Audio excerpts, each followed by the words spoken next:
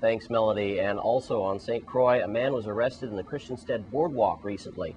45 year old Wayne Stoddard of Strand Street was arrested for third degree assault and possession of an unlicensed firearm. Apparently, Wayne Stoddard was acting irrationally and was pointing a gun at some of the people on the waterfront in Christiansted. That's when two bike patrolmen ordered him to drop the weapon. Finally, after some coaxing from the police officers, Stoddard dropped the weapon to the ground with himself as well. And in other news tonight, two St. Croix senators held a press conference earlier today about the recent trip to Philadelphia. There, they attended several legislative workshops and sessions. When you looked at these education committees on swine flu and poverty and the food to plate with agriculture and the economy and energy, did you have any sessions on government corruption and how to fight government corruption and how to get the message out to the people so that they would be better equipped uh, to prevent government corruption in their area?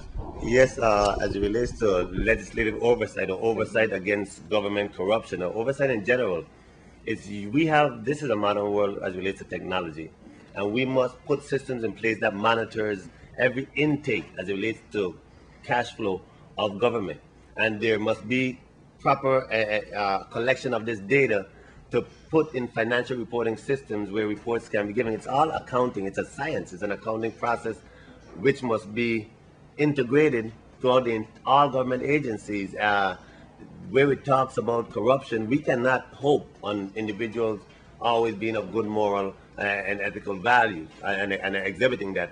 So what you must have in place for any organization is proper accounting procedures and checks and balances, internal controls to prevent the easy access to government funds. As you relate, as you spoke on the governors uh, using government monies for this building, and there's allegations that others may have, and there's many allegations about other uses or misuses of government funds the way to prevent that is proper accounting.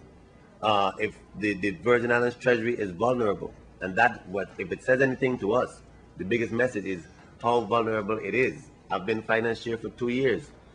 No one can tell us precisely how much government collects annually. If you're not collecting, and if you don't know from the onset how much your total underscore total revenues are, then you are already from the start losing as relates to accountability. What are your senators going to do about our judicial system? What pressure can you put on the judges? If not the judges, then the laws that they're governing. Something's got to give, senators. Can you do something about our judicial system? Can you put any pressure on what's happening? As you know, there are three separate branches of government, equal and but separate branches of government. Uh, the judicial branch being one of them. Of course, uh, it, it's up to us to review to see if it is the laws that's the problem. I would point to maybe the problem that we're looking at is the lack of appropriate infrastructure to retain individuals for long period of time. If you notice, recently we brought back some 100 prisoners, and I'm not against that, but the concern I do have is, uh, have we repaired, have we enhanced the infrastructure to accommodate individuals who violate the law? So we're talking about if we're serious about crime, we need to, and, we're talking about juvenile crime as well. We need to have the proper facilities to not only house them and warehouse them until we let them back out more angry, more bitter, and ready to do more violent crimes, but that can also rehabilitate and, and, and reconstruct their thinking, meaning you have adequate space and adequate professionals coming in, teaching them a craft so that you give them a livable skill. Because we should send the message clear, and I'll say today, that we will not tolerate the criminal activity running around our, our population, having individuals scared to come out. We as a government, we as a society, a collective society, must let the criminal element understand that we will not tolerate being preyed upon. We will not tolerate having to be afraid to go out at night. We will not tolerate having to be afraid when our children are out.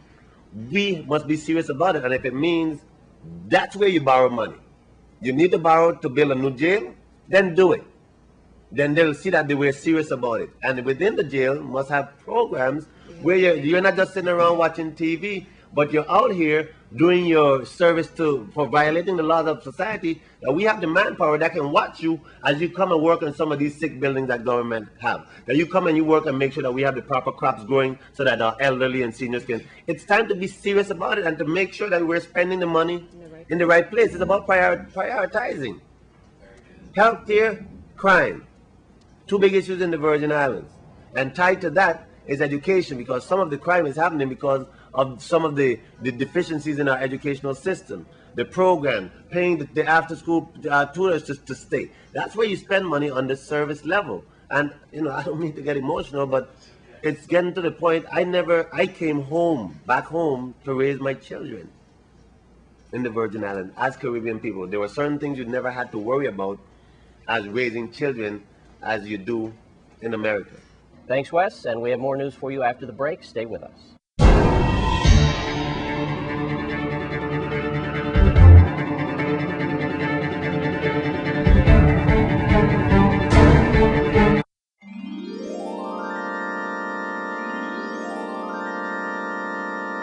Be a huge Jehovah Witnesses convention on St. Croix this weekend. News Channel 8's Wes Small has the details. We're here at Jehovah's Witness. I'm here with Ministers Tutine and also Acevedo. This is their annual district uh, Jehovah's meeting here, and as you convention. And as you can see in back of us, the brothers and sisters are very busy. Smells good. Some big cakes back there and everything, and an important message that is going to be going through our territory, sir. Yes, uh, we're inviting the general public that will be viewing this this evening to our annual district convention. Keep on the watch. That's the theme. And those are words from Jesus Christ encouraging his followers to keep on the watch because very soon this entire wicked system of things will come to an end. So the convention really is to encourage interested ones, those who love God and read the Bible, to come down. It's on this weekend, Friday, Saturday, and Sunday. Each session begins on 9:20 a.m. on Saturday, Friday and Saturday. It concludes at 5 p.m. And then on Sunday it starts at 9:20 and it concludes at 4 p.m. If you can't make it all three days, we're making a special request for you to come on Sunday. We've been having a campaign to invite the people of St. Croix. Uh, as you know, Mr. West, you've probably seen us in your neighborhood uh, with a special invitation. On Sunday, we're going to answer the question by means of several symposia how we could survive the end of the world. So please come. And then Sunday afternoon, we have a special treat for the young people of St. Croix. It's uh, based on uh, the prodigal son. We, we know that from the Bible. And uh, it's going to be in a modern context. So I'm sure the young people will, will enjoy it. It begins at 1.30 on Sunday afternoon. All right, and Minister Acevedo, where is the event? Yes, we're here at the Assembly Hall of Jehovah's Witnesses in North Carlton Road, Frederiksted, about a mile, half a mile from the main line, main road, right. and uh, uh, well located and well situated. Uh, Jehovah's Witnesses are coming from Tortola, from Virgin Gorda, St. John, St. Croix, and we expect about 900 people here. And we invent, invite people of all religions because this is a, a truly a Bible meeting. And it's free, no collections will be made ever. And I just wanted to mention too that the Spanish population will have a, the same convention next week in St. Thomas in the Antilles Academy. Why don't we put that out in Spanish for them? You want me to speak Spanish? Why not? Okay, get ready.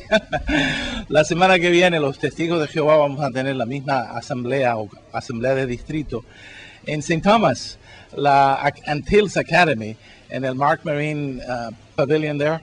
Y esperamos invitar a todos los hispanohablantes en St. Thomas, St. John, Tortola y St. Croix. Si puede ir, viernes que viene, 21 de agosto, hasta el 23. Así que esperamos verles allá. Y igual que esta semana, lo que se está celebrando en inglés aquí se va a programar allá en español. Thank you. You're welcome. So there you have it. It's the district uh, convention for the Jehovah's Witness.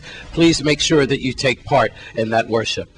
I'm Wes Small for News Channel 8. Thanks, Wes. And we have your Sports 411 update for you coming up next on News Channel 8. Stay with us.